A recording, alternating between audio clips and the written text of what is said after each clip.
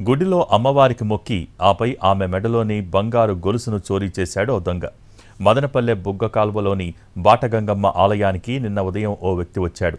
ఎవరికీ అనుమానం రాకుండా సాధారణ భక్తుళ్ళ అమ్మవారిని దర్శించుకున్నాడు. ఆపై అదను చూసి ఏకంగా అమ్మవారి మెడలోని బంగారు గొలుసును దొంగిలించాడు.